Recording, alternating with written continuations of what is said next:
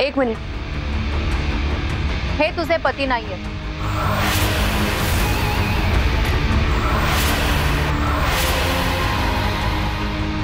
म्हणजे? हा माझा माणूस आहे.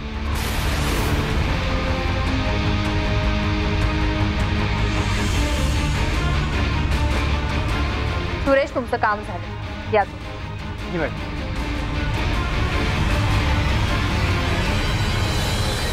मॅडम तुम्ही माझी परीक्षा घेताय का?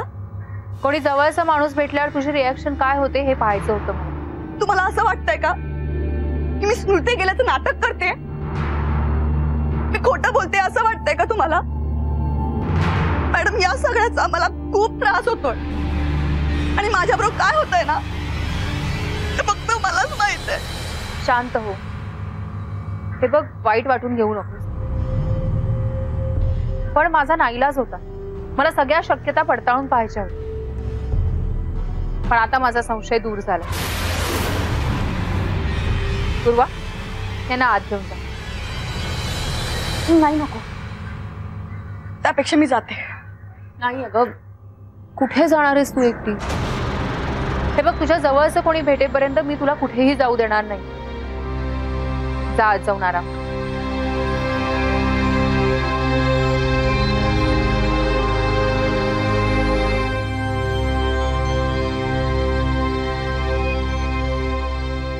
मॅडम हे सगळं काय आहे?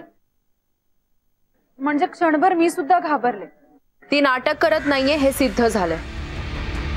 ती जर नाटक करत असती तर अशा व्यसनी माणसाबरोबर जायला ती तयारच झाली नसती.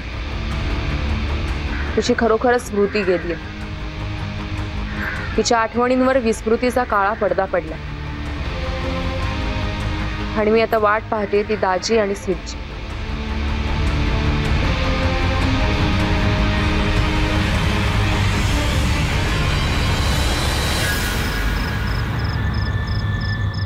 मॅडम तिला ज्या वेळेला हॉस्पिटलमध्ये ऍडमिट केलं त्यावेळेला तिची पर्स प्यारेलाल नावाच्या एका माणसाच्या हातात होती असं कळलं.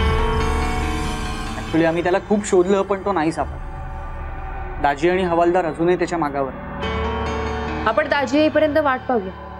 तोपर्यंत मी डॉक्टर परेरांशी बोलून घेते.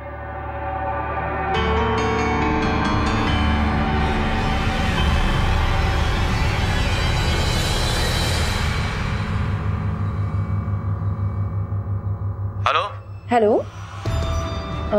डॉक्टर मी अस्मिता प्रभाकर अग्निहोत्री बोलते. बोला मॅडम. सॉरी तुम्हाला इतक्या लेट फ़ोन केला. ऍक्च्युली पण काम तसं अर्जंट होतं? हा बोला ना.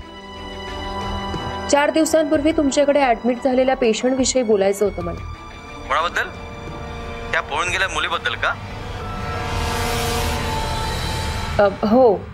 तुमचे असिस्टंट आले होते मला भेटायला. मला कल्पना आहे त्या केसची तुम्ही गिल्टी वाटून घेऊ नका.